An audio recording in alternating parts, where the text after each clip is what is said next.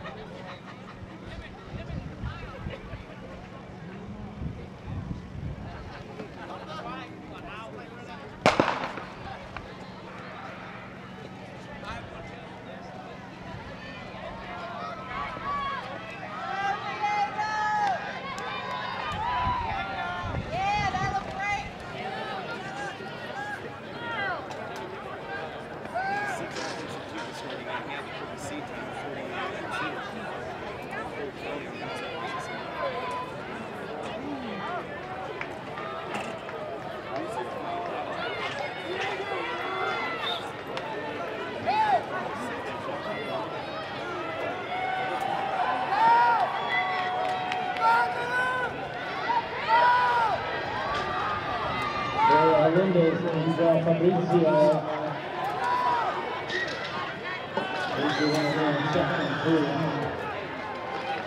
Lots of hurdles for six now. The varsity race up next. Event number thirty-two, George, three hundred hurdles varsity.